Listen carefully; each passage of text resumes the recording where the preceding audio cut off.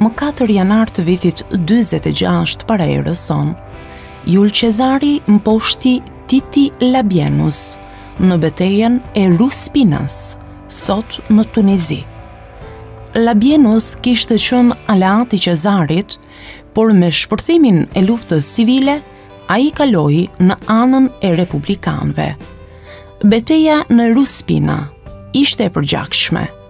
Cezari humbi më shumë se një të tretën e forcave, por në fund arriti fitoren.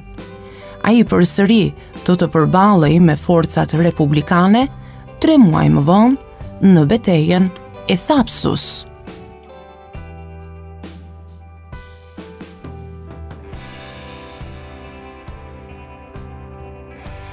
Më 4 janar të vitit 1789, mekaniku Samuel Slater arriti të largohej nga Anglia dhe të arrinte në Shtetet e Bashkuara.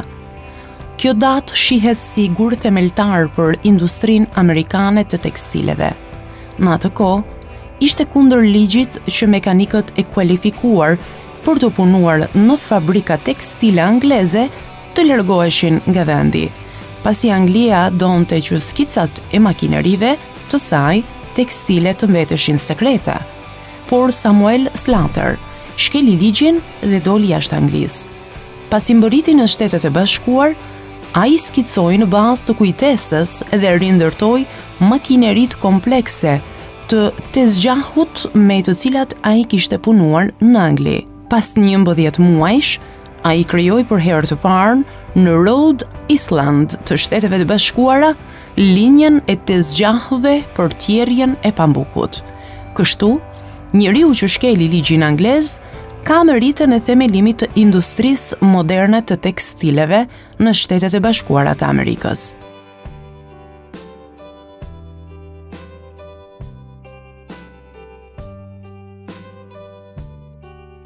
Më 4 janar të vitit 1623, ka lindur Isaac Newton.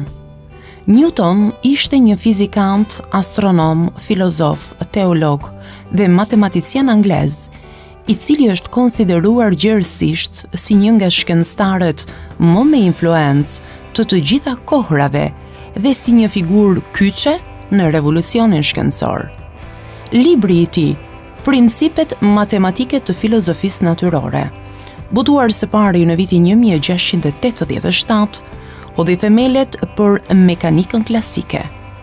Newtoni formuloi ligjet e lëvizjes dhe gravitetit universal, që dominonin pikëpamjen e shkencëtarëve të universit fizik gjatë tre shekujve të ardhshëm.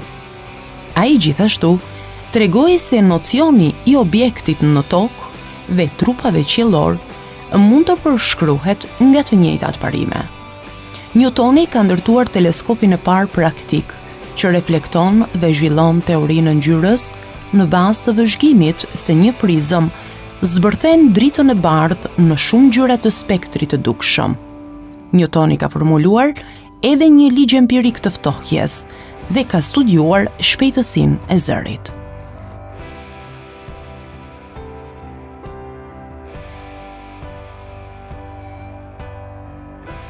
Më 4 janar të vitit 1785, në Gjermani, lindi Jakob Grimm.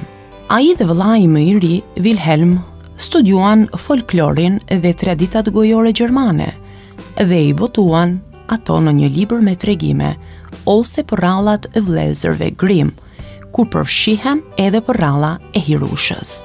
Jakob Grimm gjithashtu bëri kërkime të mirëfillta në gjuhë dhe krijoi parimin e njohjes së ligji Grimm mbi ndryshimin e shqiptimit të bashkëtingëlloreve.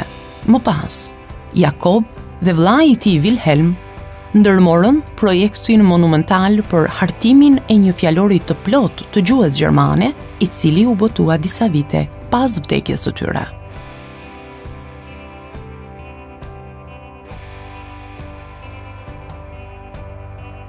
Më 4 janar të vitit 1809, në Francë, lindi Louis Braille. Kur ishte fëmijë, Braille pësoi një aksident dhe mbeti i verbuar. Por, ai e sfidoi verbimin, kur si adoleshent, ende nxënës shkolle, krijoi një formë të re komunikimi, që do transformonte jetën e miliona personave të verbër. Braille ndërroi jetë më 6 janar të vitit 1852 dhe sistemi i tij i shkrimit, që mund të ndihet dhe të interpretohet nga të verbërit, do të njihej gjerësisht vetëm pas vdekjes së tij. Pothuajse dy shekuj më vonë, sistemi Braille vazhdon të jetë instrument tepër i çmuar i të mësuarit dhe komunikimit për të verbërit dhe i përshtatur për gjuhët në mbarë botën.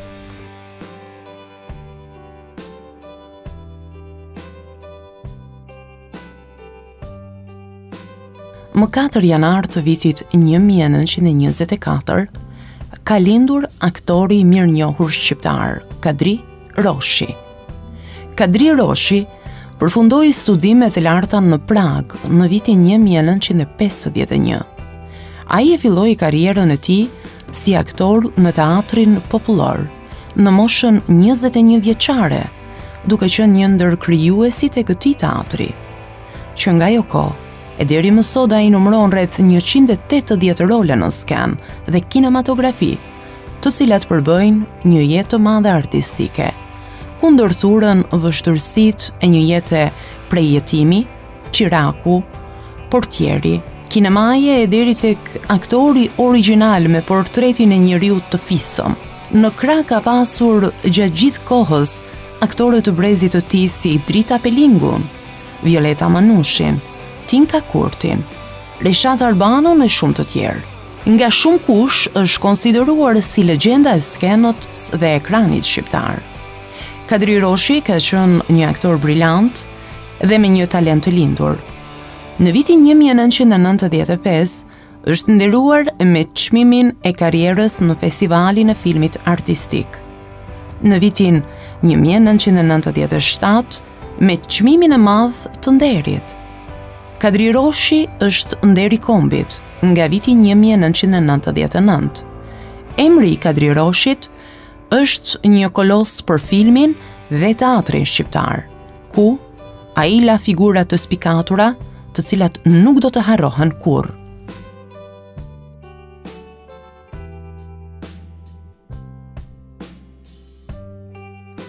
Më 4 janar të vitit 1968, ka lindur shkrimtari shqiptar Veli Karahoda. Është shkrimtar i shquar, poet, romancier, tregimtar dhe eseist. Veli Karahoda diplomoi në Fakultetin e Arteve pranë Universitetit të Prishtinës, me shkrimet e para letrare u shfaq në fund të viteve 80, duke publikuar kryesisht ese, të cilat trajtonin tema nga letërsia, estetika, filozofia dhe politika. Librin e parë, Kështjella Shqip e Kafkës, i cili është roman, e publikoi në vitin 1991. Më pas, Klepsidra e Verdhë, vëllim me poezi, Panairi i kufomave, ese dhe shkrime kritike, Akademia e Veshjes Bukur, vëllim me poezi, Balsamuesit e hululeve, vëllim me tregime dhe novela, Demonët, roman i botuar në vitin dy mijë, Shtatë fjalët e fundit, është një tjetër roman i botuar në vitin dy mijë e tre, Serpenti dhe hija, është një tjetër roman i Veli Karahodës.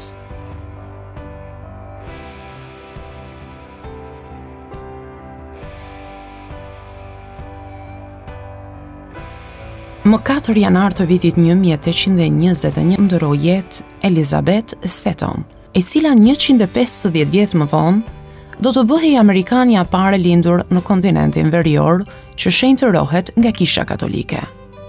E lindur në një familje protestante, në 1774 Elizabeth u konvertua në katolike në vitin 1805, pas vdekjes së burrit. Thirrja e parë e saj si katolike ishte ajo për ngritjen e shkollave femërore në Baltimore të Marylandit. Përpjekjet e saj u bënë shembull për shkollat me bazë famullie në mbarë Amerikën. Në vitin 1808, ajo u shpërngul në Emmitsburg, po të shtetit Maryland, për të ndihmuar në ngritjen e një kongregacioni murgeshas si degë e bijave të mëshirës. Elizabeth Seton dhe ndjekëset e saj ia kushtuan veten kujdesit për të sëmurët dhe të varfrit. Më shumë se 150 vjet pas vdekjes së saj, më 14 shtator të vitit 1975, Papa Pali i gjashtë e shpalli atë shenjtore gjatë një shërbese në sheshin e Shën Pjetrit, Papa vlerësoi lartë ndihmesën e saj personale dhe të jashtëzakonshme si grua, bashkëshorte, nënë dhe udhëheqëse fetare.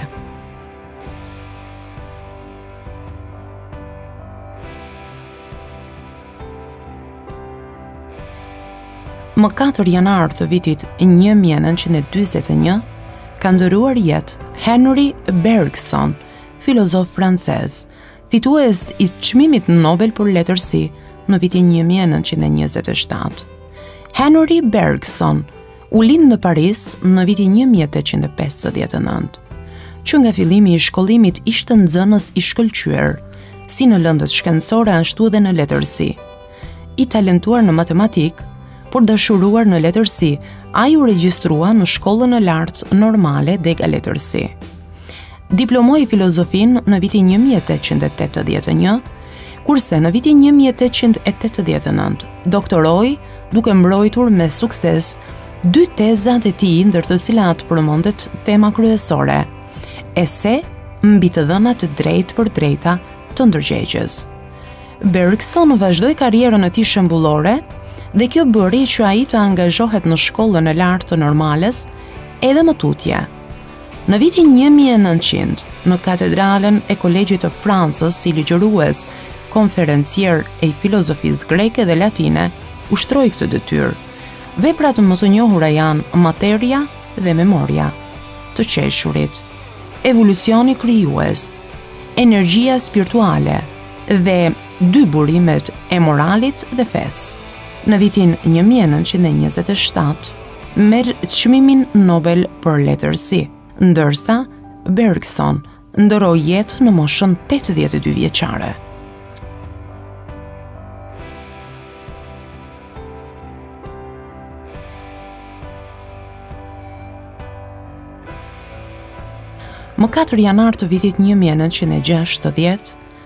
ka ndërruar jetë Albert Camus, gazetar, eseist dhe dramaturg francez, nobelist për letërsi në vitin 1957. Është i njohur për stilin karakteristik të shkrimit dhe me tematikat e veprave të tij. I gjithë opusi letrar i tij bazohet në idenë absurde të ekzistencës së njeriut, Që kur ishte i ri, Camus në saje të presionit të babait, i ndjek rregullisht studimet në universitet dhe diplomon për filozofi. Në vitet 30 ai kalon sprova të shumta në jetë dhe piqet nga përvoja gjithfarëshe. Shkruan tekste të vogla, meditative, me theks biografik. Shtrohet në spital për tuberkuloz, por i shpëton vdekjes, por jo kurimeve të vazhdueshme. Harton romanin e rinisë Vdekja e Lumtur, të cilin nuk pranoi të botohej për së gjalli. Në vitin 1973, shënon çaste vendimtare në jetën intelektuale të Kamysë. Ai boton librin e mbrapshta dhe e mbara me ese të rinisë. Në vitin 1939, boton një tjetër libër me ese, Dasma. Më pas punon në gazetat serioze të Algjerit dhe shkrimet e tij i boton në një përmbledhje Aktualet. Bëhet i njohur në vitin 1942 me botimin e eseut filozofik Miti i Sizifit.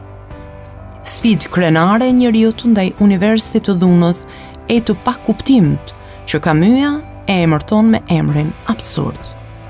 Po atë vit, Kamy boton romanin I huaji, Pasqyrë e brishtë e njeriut dhe e vuajtjes absurde. Vepër tjetër është eseja Mendime për gijotinën, ku dënon heqjen e dënimit me vdekje. Një tjetër botim është romani Murtaja, që mbahet si një nga romanet më të mira të shekullit 20, ku i bëhet një sintezë qëndresës njerëzore ndaj të gjitha formave të tiranisë. Botimi i esesë Njeriu i revoltuar në vitin 1951, drejtuar kundër mendimit diktatorial e veçanërisht kundër terrorit stalinist, i shkakton Kamysë sulmin e ashpër të intelektualëve të majtë francezë, me në krye Sartrin dhe një lloj izolimi, të cilin Camus e vuajti thellë. Në këto vite dëshpërimi e vetmie, ai shkroi veprën e tij më pesimiste e të zymtë, Rënia, aktualizim i parabolës biblike mbi gjendjen e njeriut si mëkatar dhe i paqëndrueshëm. Camus e gjen vdekjen nga një aksident automobilistik